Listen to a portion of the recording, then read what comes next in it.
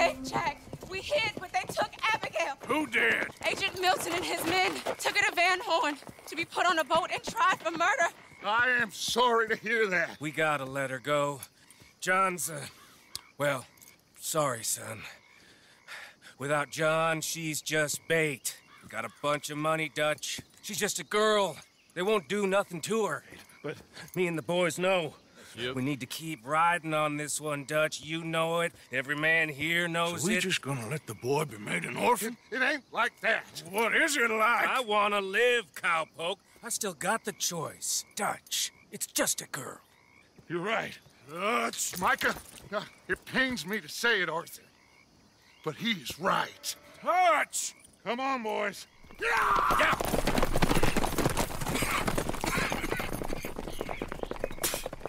Well, I guess that's that then. All them goddamn years. Come on, Arthur. Let's go get her. You and me is all we need. Miss Tilly. Here. Take this. You take this money, too. Take Jack, and you wait at Copperhead Landing for Abigail and Mrs. Adler. Thank you, Arthur. You're a good girl. You live a good life now, you hear? All right, Arthur. I'll... I'll miss... Me too, sweetheart. Me too. Jack, come here. Be brave, son. I'm gonna go get your mama. Mrs. Adler. Ride with me. Ah! If they're putting her on a boat, they'll probably dock at the north end of town. So I reckon we should go in the other way. Sure, I guess. I don't know. Those goddamn bastards. Look, just follow me, okay? We're gonna get this done, Arthur.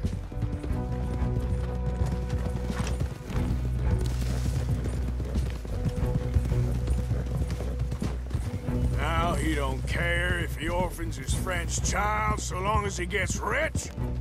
All this goddamn talk all them years. Seems like it was always a lie. Or he went crazy. Sure.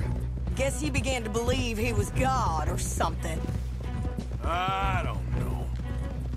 I'm sorry you got dragged into this. Into us. Listen, if you hadn't shown up at my house that night, I'd be dead. And even this bullshit beats dead. I thought I could find a way to get John, Abigail, and Jack out of this mess. Give them a life. Seems I left it too late. If we could still get Abigail, maybe her and Jack will be okay. John, Hosea, Mac, Davy, Jenny, Sean, Lenny. We have to put an end to this.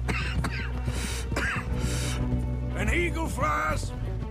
Another angry fool he used just like he did with the rest of us. Like I said, Arthur, we don't need them. We're gonna make this right. Me and you together. What's left of it. Now come on.